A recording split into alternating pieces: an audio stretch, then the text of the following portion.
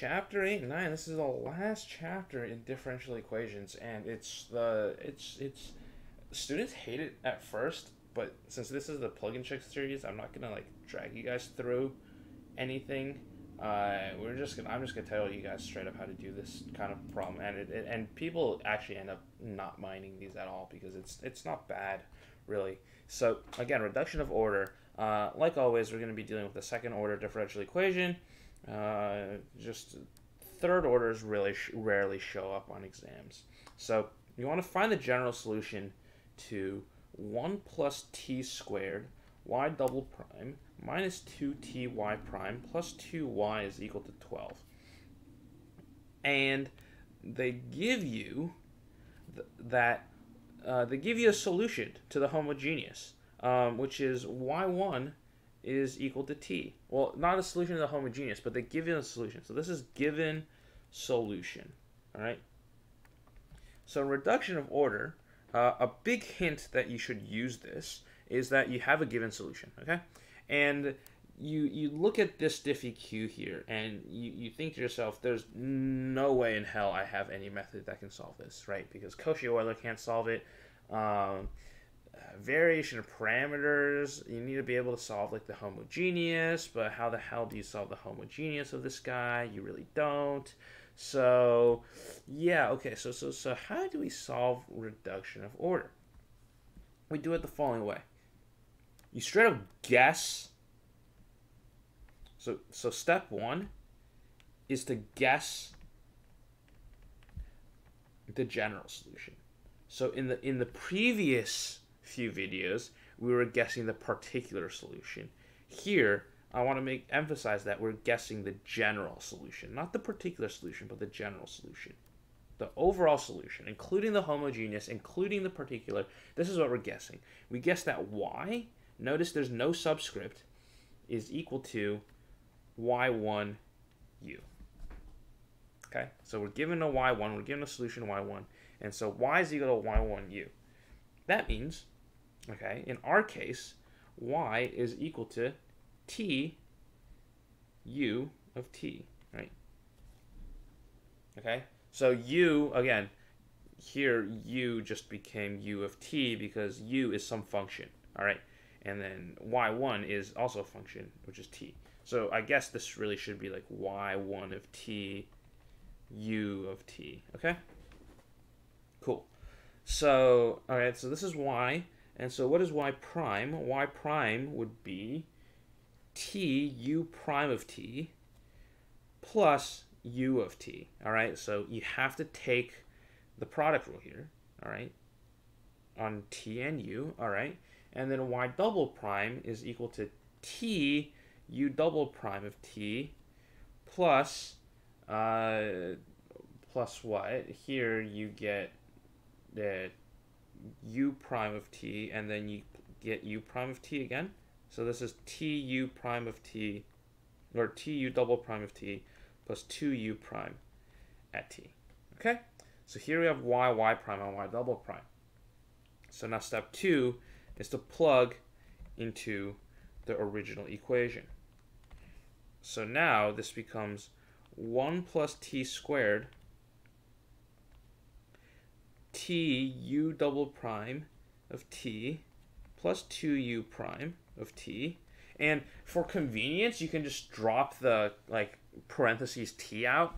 Um, it, it makes this a lot shorter to write. So we just drop the parentheses t.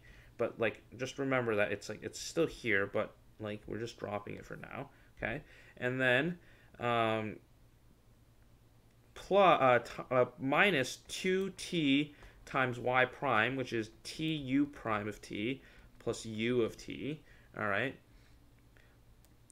plus uh, 2y, which is 2 uh, t times u, all right? And so, and I need to distinguish my t and my plus signs.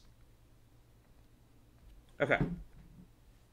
So, now what, right? So this is equal to 12. Okay. And now a hint is you can just ignore the u terms. So instead of the u prime, so you you can ignore the u terms, but not the u prime or the u double prime terms. So any term that has a u, just replace it with a zero. So that, that, just erase it. So that just goes away. This u term just goes away. And if you actually worked that out, you would have seen that you would have seen that they canceled anyways. And that's the point. That's why it's called reduction of order because you lose all the u terms. You actually just lose these terms uh, when you plug when you plug in to the original equation. You lose your u terms, so you can just treat them as zero. So in this case, I'm I'm not even like cancel them out on the page for you. I'm just gonna straight up erase them because I don't need a because I know that they're gonna end up being zero. Okay, and that always happens in reduction of order. So it makes these calculations a lot simpler than you really think they are. So now what? So now we got this equation here. Okay, so now we got you're just gonna you know foil it. So you get tu double prime, uh, first outer plus like uh, this is like what two u prime plus inner t cubed u double prime last 2t squared u prime. All right, and now this is minus 2t squared u prime is equal to 12. Okay, and so what happens? Well, this guy and that guy cancel pretty obviously. And so now we're left with then uh, t uh, cubed, u, uh, so this is tu double prime plus 2u prime plus t cubed u double prime is equal to 12. And so uh, we're going to combine the u double prime terms. And so this is really t cubed plus t u double prime um, plus 2u prime is equal to 12. Okay? And now what? So now we have a differential equation. Um, and okay, and so so so so so sure, we still have a differential equation. And we solve this using a technique called the integrating factor, which technically is chapter one of this textbook, but we just never cover it. So how do we find the integrating factor? So uh, now what you want to do is you want to isolate this u double prime term. So you want to take it by itself. So now you get u double prime plus 2 divided by t cubed plus t, right? Because so we just divide everything by t cubed plus t is equal to 12 over t cubed plus t. Okay, so we need so we need this guy to be we need this right here to be a one. Okay, right? This is a one. That's good. Um, and I dropped a u prime. Okay. So now what? Now this guy right here, the coefficient from u prime is our integrating factor. Okay? And what does that mean? It means that I, I, I actually just need this I need this to be e to the integral of the integrating factor. So what do I need to do? I need to step three then. All right, so just bear with me for now, right? So step three, um, I need to find the integrating factor. Okay, so I take this coefficient right here, and I essentially stick it into this integral, which is on top of a e, all right, on top of an exponent. So I have e to the integral of the integrating factor. And so just straight up finding the integrating factor for now. In our case, this is the integral of 2 divided by t cubed plus t. Okay. Uh, this is a pretty stupid integrating factor. It, it, will usually be a, not, a lot nicer than this. But um, this is equal to 2 over t minus 2t over 1 plus t squared. Uh, and this is by partial fractions. So if you remember uh, 104, uh, or if you remember Calc BC, the one time it rears its ugly head, I literally have never seen any problem in any other math, in 114 or two, any other problem in 240 have this. So now I can actually just integrate this um, because this is equal to uh, 2 ln uh, minus ln of 1 plus t squared. Okay, and so you get the first guy, uh, you get this first guy pretty clearly, um, but if you integrate the second guy, uh, you have to use a u sub. to get that. Okay? So, uh, and then you use the fact that you have, uh, you, you use the fact that ln has this fact that, it, you use the fact that ln, like, logs have really cool things you can do. So this is right, ln t squared minus ln uh, 1 plus t squared. Okay? And which then just ends up being ln of t squared divided by 1 plus t squared, right? By properties of logs. So this is all, so these last two steps are all by the properties of log. But now remember that this guy sits on top of an e, right? So, so this guy sits on top of an e right here, right? So now e to the integral of 2 over t cubed plus t is really e to the ln t squared over 1 plus t squared. Well, e to the ln just cancels it out, so this is just t squared over 1 plus t squared. Okay? So this is my integrating factor. So, so, so, so this is the result from the integrating factor, okay? And now what? Now you want to multiply through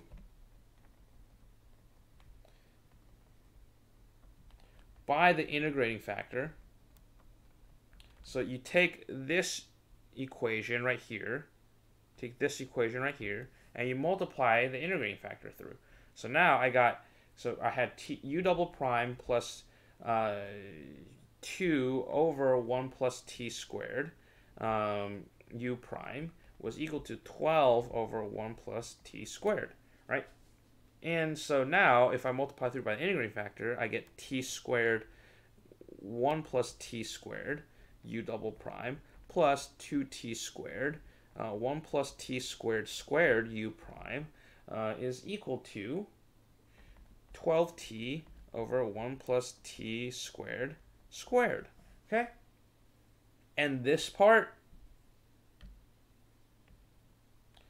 is always equal, the left-hand side, left-hand side always equal to uh, d dt of the integrating factor times u.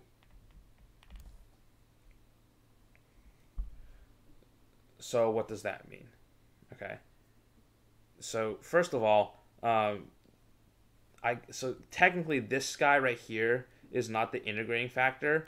It's the it's it's what goes in here, right? And then this guy, this E is the integrating factor. And so after you evaluate it, this guy is the integrating factor. Okay? And so you want to multiply through by the integrating factor. That's what we did, right? We took 1 plus t squared and multiplied it through um, from here to here, uh, from the first first line to the second line. So the left-hand side is always equal to d dt of the integrating factor times u prime. Okay, and so this is then just d dt of t squared over 1 plus t squared u prime is now equal to the right-hand side, which is 12t over 1 plus t squared squared. All right. And so if I integrate both sides, I get t squared uh, over 1 plus t squared u prime is equal to the integral of the right-hand side. So, uh, so what is that? That's negative 6 1 plus t squared, all right, by u sub, uh, plus some constant, c1, all right? And I need to keep my constant here right? I need to have this integrating constant because, or the constant of integration, because I'm guessing the general solution. This is a huge distinction right here. You have to be able to make this distinction. When we guess the general solution, you need to keep your constants of integration, all right? So what did we do? From this step to this step, we integrated into both sides, all right? And this constant of integration is because we guessed the general and not the particular. All right. So where's the other place we see the integral? Variation of parameters. We do not need the constant of integration because in variation parameters, we're looking for the particular solution. Here, we're looking for the general solution, so we have to keep our constants, okay? Big, big distinction there. Now what? Now we need to solve for u prime. U prime is equal to negative 6 over t squared, all right? Because if you multiply both sides by the reciprocal of that thing, um, plus this becomes 1 plus t squared over t squared um, plus c1 uh, uh, times c1, but this is really just negative 6 over t squared plus 1 over t squared plus 1, okay, um, times c1, right, because you this the plus is now on the top, so you can split that fraction up. And now integrating both sides, so that's still u prime, and now u is equal to the integral of both sides, which is 6 over t plus c1t plus, uh, or minus, so actually 6 over t minus c1t plus uh, c, uh, plus c1t. So 6 over t minus c1 over t plus c1t um, plus uh, c2. Okay, and why do I have a C2? And we have a C2 because, again, I integrated from u prime to u, and so I need a new constant of integration, um, which is now C2. Okay, so now we got another constant of integration. All right, and so now remember, so what part is this? I don't even remember what part. This is part five. All right, so part four is multiply through by the integrating factor and solve for u. Okay, and now part five is uh, obtain general solution. So remember y we guessed was equal to u times y1, all right, or u of 1 time u of t times y1 of t. What was u? Oh, was y. y was t. y1 was t. Okay, so now this is equal to uh, 6. So essentially it's this guy times t, which is 6 minus c1 plus c1t squared plus c2t. Okay? And this is going to be my general solution. So that's how you do reduction of order. And this is a very powerful tool. Um, it, it, it's not as bad as it seems. The integrating factor is not as bad as it seems. Um, the hardest part, uh, the hardest part is the algebra uh, up here, right? When you plug into the original equation, um, and then uh, this integrating factor stuff. Again, you just need to know what you're doing. So I would recommend uh, watching this video uh, again, especially understand the integrating factor part and understand how then you come up with your solution. And so this is reduction of order. We're actually not quite done yet because I want to now go back to 8.8 and cover um, the, the, the Cauchy-Euler equations when your right-hand side is actually, um, when your right-hand side is not uh, zero, when you have a particular solution that you need to guess. And so that will be the next video. But then after that, I, I think we're done with differential equations. And then we go on to the system of differential equations, which is really easy, by the way. And yeah, that's 240, so it's coming up real fast.